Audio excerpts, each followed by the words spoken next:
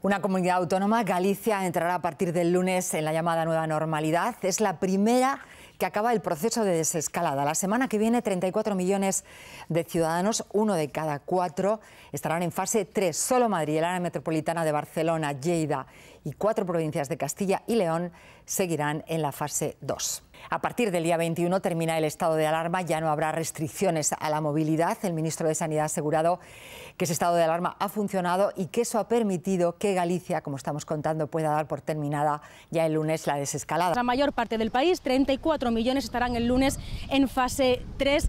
Pasan a esta fase, de la fase 2 a la fase 3, Comunidad Valenciana, Ceuta y Castilla-La Mancha y siguen en la fase 2 la Comunidad de Madrid, Barcelona, Lleida y parte de Castilla-León. En cuanto a la movilidad, Extremadura va a permitir la movilidad entre las dos provincias, Cáceres y Badajoz. Y sobre esta confusión que tiene mucha gente, ¿qué pasa a partir del día 21? El Gobierno insiste, el día 21 acaba el estado de alarma, por tanto puede haber movilidad libre en todo el país.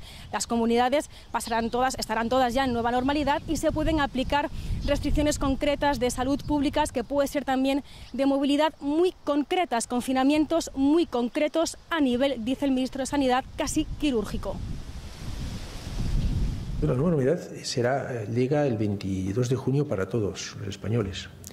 Eh, algunos la reciben antes, por ejemplo Galicia, igual alguna otra comunidad toma esta decisión también, no, lo sé, no lo han solicitado en los próximos días y la nueva normalidad eh, indica que la movilidad no está restringida porque no está vigente el estado de alarma.